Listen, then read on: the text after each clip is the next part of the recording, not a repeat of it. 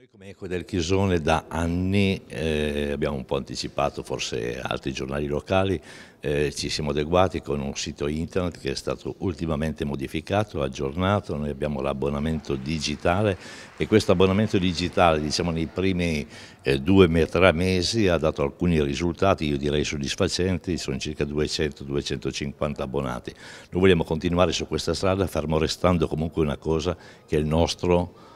eh, diciamo, il primo interesse è quello di avere un giornale cartaceo, il resto in questo momento è un corollario, noi pensiamo al futuro ma siamo legati molto al presente.